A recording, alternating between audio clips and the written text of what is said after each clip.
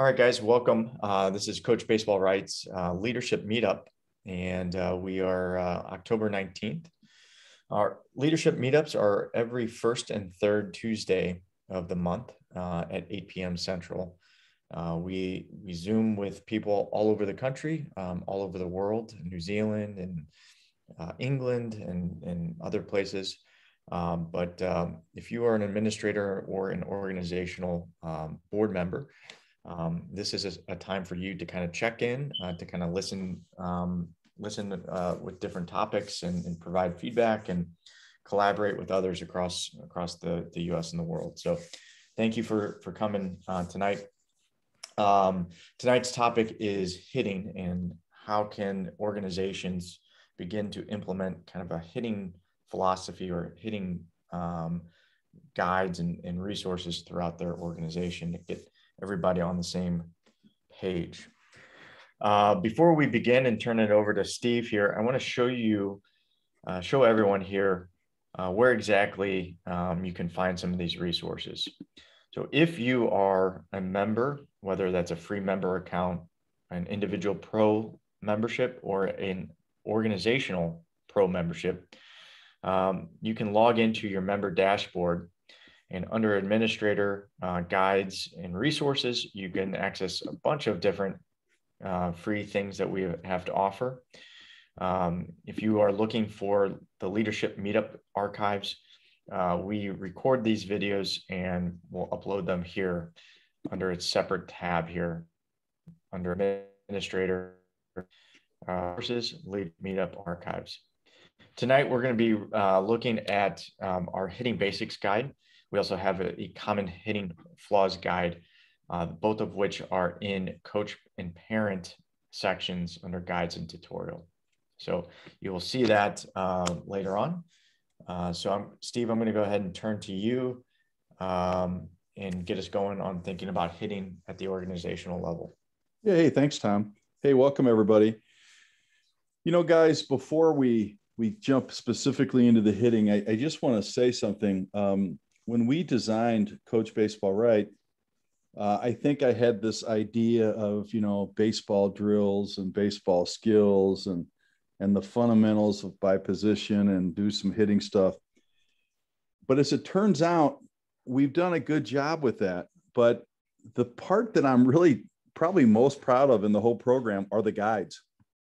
You know, tonight we'll do a little bit with the hitting guide, um, but there are so many other guides in there for coaches uh, to get going and for administrators to start to bring to their organization that uh, that might be uh, you know the highlight of our coach baseball right program. But tonight we'll focus in on just one. That's the hitting guide. You know um, i thought about this. I was in bed the other night thinking about you know what you know what are we going to talk about when we come to this? And to be really honest with you uh, we're not going to get all that technical in terms of the the specifics on on hitting. Um, I just want to say this: if you're an organization and you've got one team or a hundred teams underneath you, the question I have is, what are your expectations for your coaches when it comes to hitting? Um, my gut feeling is is that most organizations kind of let the coaches do what they want to do, which might be some really great things all the way to nothing. And my suggestion to you, like my suggestion on many other topics, you know, behavior, uh, um, you know, uh, practice planning, things like that, is to have some type of expectations for hitting.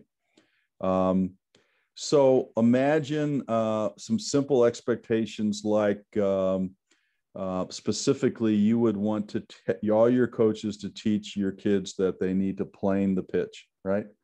Doesn't mean swing up or swing down. It means slightly, ever so slightly swing in the path of the ball. And your coaches should know what that means. Um, power in the swing can come from torque, from the separation of the bottom half and the top half um, staying sharp to the ball, staying sharp to the ball. We don't want a, a real long swing. We want to stay sharp to the ball. Now, those are just three basic concepts.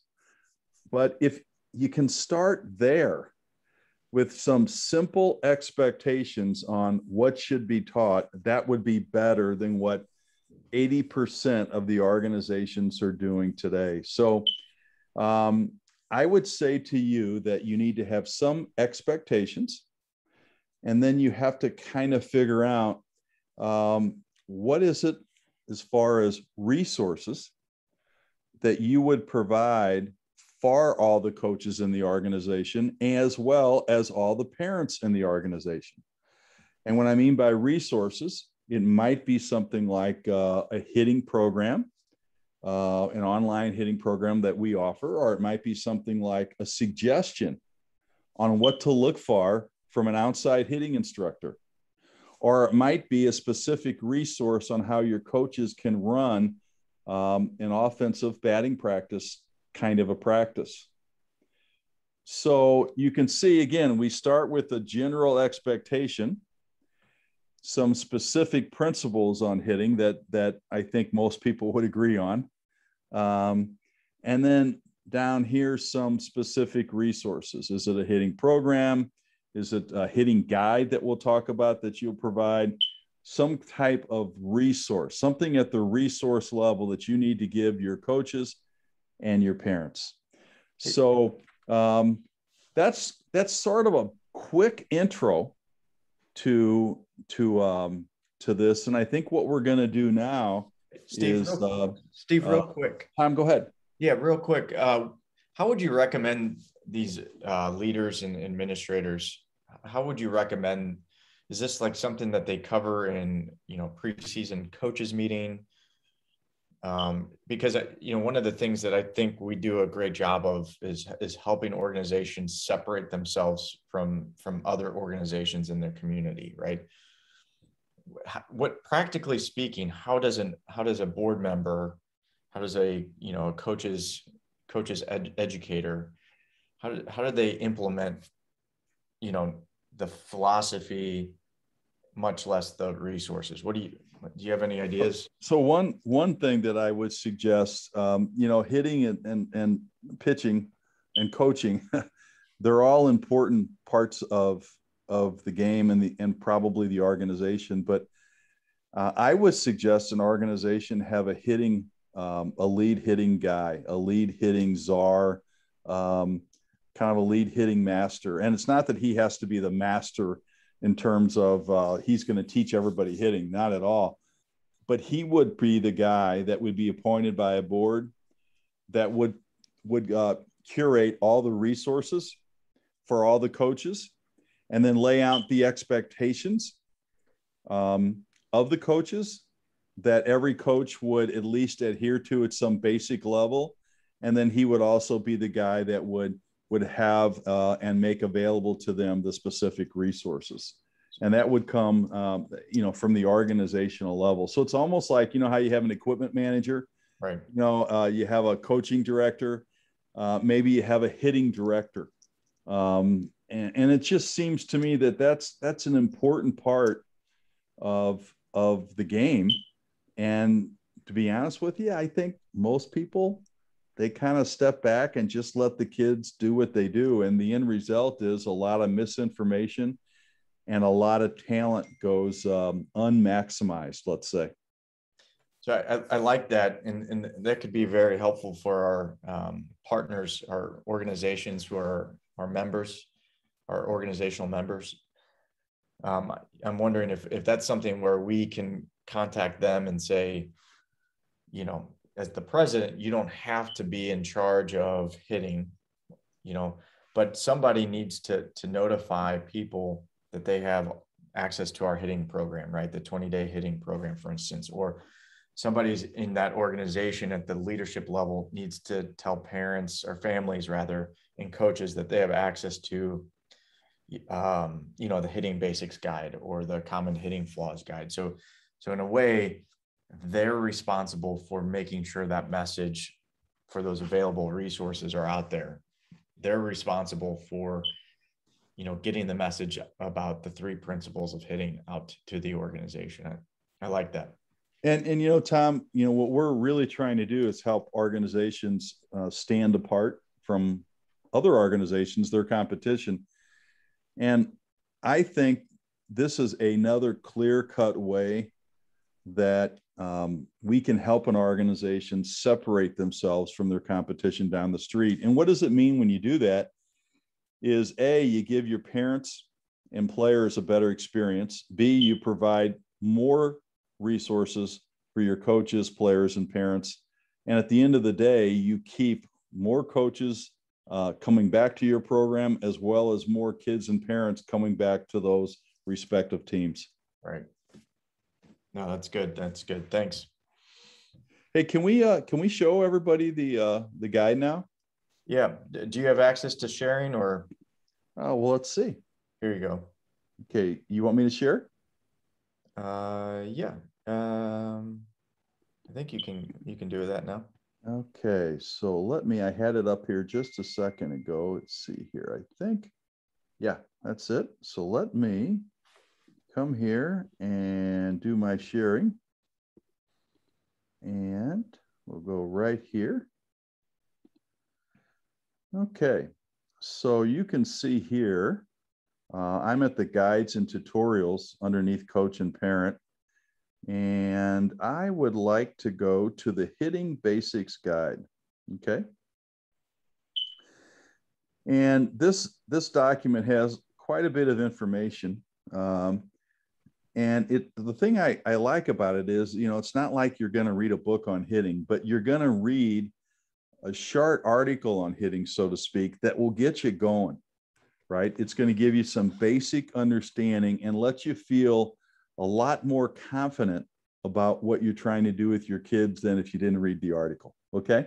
So it talks about the three main principles of hitting, right? Which is planing the pitch, um, and and it actually has a really good analogy for you so so this is right from ted williams book right uh, the, the science of hitting uh, ball coming down and a swing going slightly up in the blue area um, is your contact area which is a lot more contact area than a level swing level to the ground on a ball going down. And i wish they would have had the third one which is a swing going down and a ball going down and you have an x right? And that would be the worst case scenario. So um, that's that's a you know the principle number one, planing the pitch. Principle number two is is torque is how you generate power, and you can see the bottom half here is going before the top half. Okay, you can see it here, and you can see it here as well in this particular swing. Um, and the third principle is just staying sharp to the ball, right? Staying sharp to the ball. We don't want our hitters to be long long, slow swings. Uh, think of a guy who has bat drag. A guy who has bat drag when when um, the elbow gets in front of the knob, you know, and the bat is dragging through the zone. That's a real slow swing. So we don't want that. Um, and then we talk some specific strategies for beginner and youth players here. And we talk here about batting practice, you know, how it should be meaningful. And actually, we talk about you know the difference between four and five year olds and and maybe 13 year olds, how you would do a batting practice. And I'll just give you a, just a quick a quick overview. If I was working with four and five year olds, I want them to swing at whatever they can reach. I want them to swing at whatever they can reach. I want them swinging.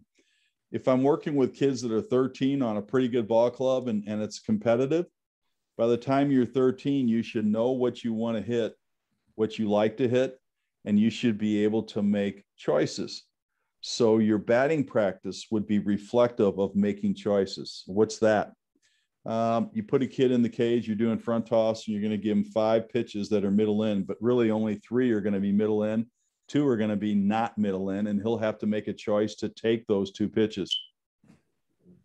And then he learns how to hit a pitch middle away and you'll have five pitches but to be honest with you what's going to happen is um, three of those will be middle away he'll swing but two of them won't be and he'll have to take those pitches. So he'll be making choices you have two strike scenarios where you want to expand the zone right but you still don't want to swing at ball three so when you have two strikes you'll throw three of them that are swingable two strike pitches but you're going to throw two of them that aren't that makes the kid or helps the, the, the, the player begin to make choices.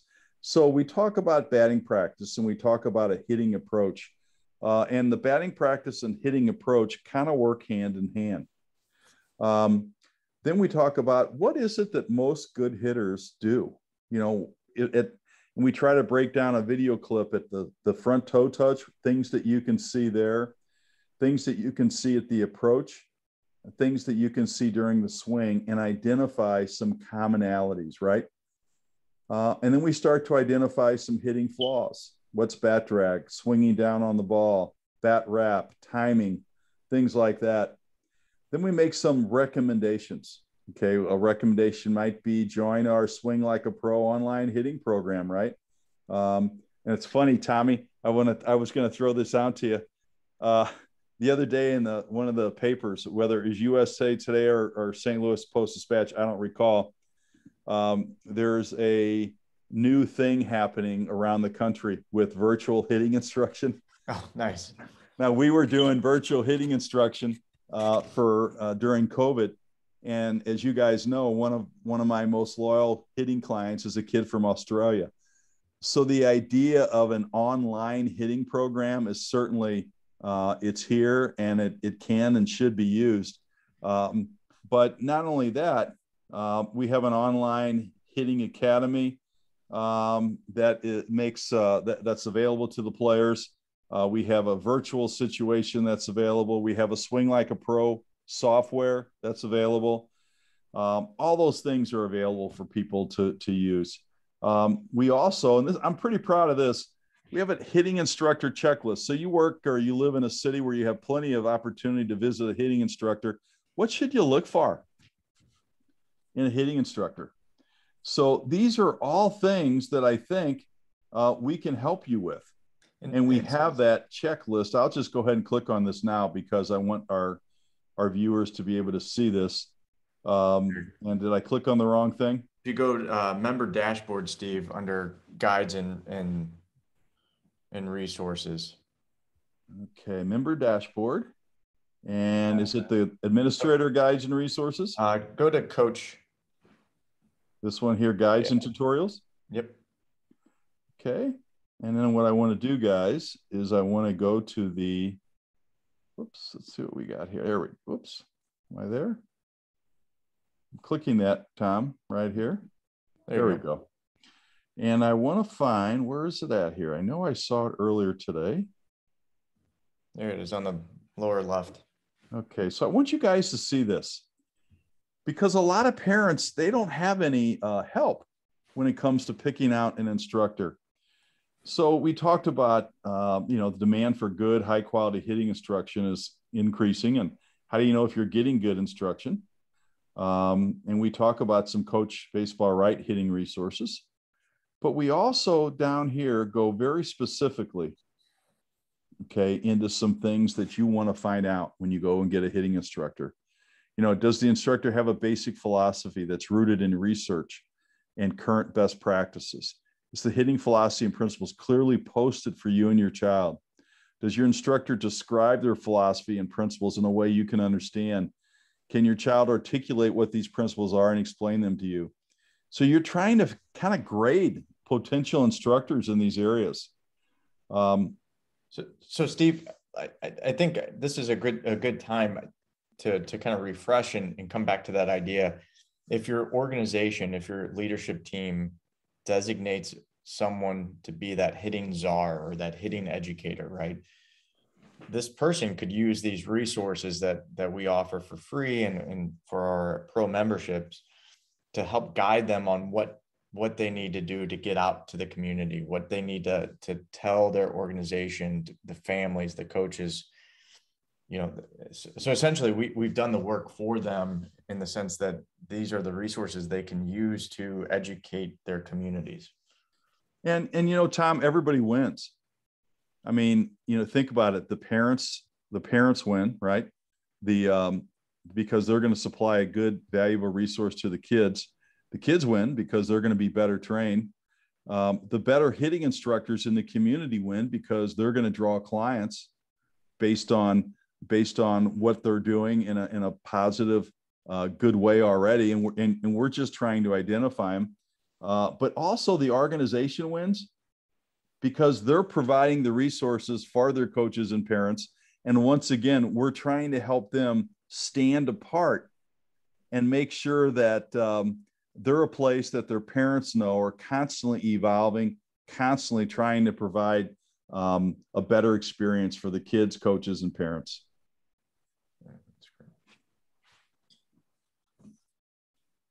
Now, guys, you can keep going here. And you can kind of see, um, you know, all these different things here. Uh, I'm just going to say right here, specific, measurable, attainable goals. Are there specific and meaningful goals that can be attained? Does the instructor communicate and measure this? Okay, and then here are some recommendations from Coach Baseball Right. You know, we've really, really took our time and we tried to, to give you a, a first class tool to help you try to figure out what good instruction would look like. Uh, and I'm not going to get into the, the time and the place to get into this um, isn't now, but I want to just make sure I call the attention to you so that you know this document is here and you know you can use it. Um, I'm just looking at this very quickly here. Uh, can your child identify common hitting flaws and know how to avoid them? Does your child understand what a sound and proper hitting approach is? Um, does your instructor work on any type of pitch recognition? Uh, I, ju- I do want to just say right now that Game Sense Sports, um, they are they do a great job providing pitch recognition software. And for every kid I work with, uh, the first five minutes of all my instruction, uh, I deal with a reading video. How do you read video properly? Um, and B, uh, pitch recognition practicing pitch recognition. And I started at a young age because I think that's a, that's kind of like the next level. Uh, and we want to make sure that we're on the cutting edge of that. Um, but again, there's so many great notes here, so many good ideas for you guys. Um, here's an interesting one. Does your instructor teach pre-pitch adjustment? So what that means is, is if you got a kid going to an instructor and and he's been going to him for a year year and a half and and he doesn't know how to adjust to a curveball like like it's 0 and 1 he knows he's going to get a curveball. He doesn't know how to adjust to that or he doesn't know how to uh, you know if he's facing a pitcher at two strikes he's got a good fastball good curveball. The guy's got to make an in pitch adjustment. So these are all things that should be taking place. And if your instructor is not providing that maybe you need to look look elsewhere. Um, so again, this this checklist will get you thinking and give you guys a plan um, to go out and try to find someone that can meet uh, the needs of of you and your son. Too many times, what we do is this: one of the parents that you know says, "Hey, go to Bob. He's a good he's a good guy. That's where I take my kid." And that's about all the research you've done. And for many of our parents, they have no idea. They have no idea whether they're getting good or bad instruction. So this should really help. All right.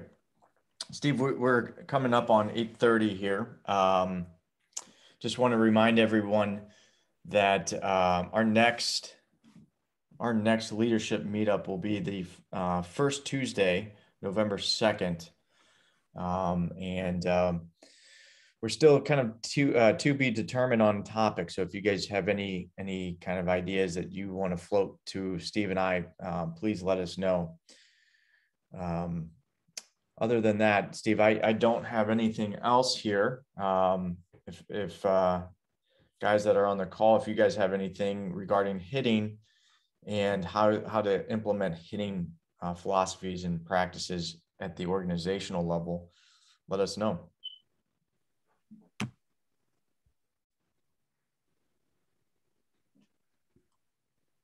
Hey, Tom, I, I also, I, I just want to add, we have plenty of ideas uh, sure. for you no, guys in terms of uh, coaching portfolios, uh, practice planning, um, you know, uh, coach coach meeting with parents.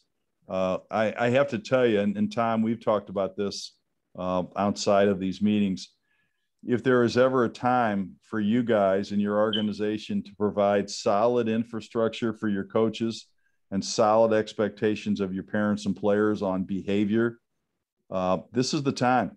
We've seen we've seen some bad stuff in terms of of um, kind of uh, no expectations and what happens when you when you lessen the expectations or you don't have any. So we have a lot of good topics coming up. We just haven't set them exactly uh, what what you'll have. We'll do that shortly for the next one. And also two weeks from uh, now, let's see, two weeks from two nights ago. So on a Sunday, we'll have um, our second round of. Uh, I think this is going to be bunt defenses, kind of an advanced advanced uh, situation, and we'll try to either Facebook Live that or put it on on Zoom. I'm uh, to be honest with you, I'm I'm thinking of changing over to Zoom, um, but I'm not sure what we'll do with that yet. But that's in two weeks. We'll do our um, that'll be on a Sunday evening at I believe that's at seven o'clock, seven to seven thirty, uh, and that'll be um, advanced bunting um, defenses. Tom. All right. That's all I have, Steve. Um, guys, thanks for joining us tonight. Uh, we will have this published and uploaded, uh, this video recording of the leadership meetup, um, hopefully tonight, if not for sure tomorrow. Um, guys, thanks for coming, and uh, I'll see you guys next time. Hey, thanks, guys. Have a great week.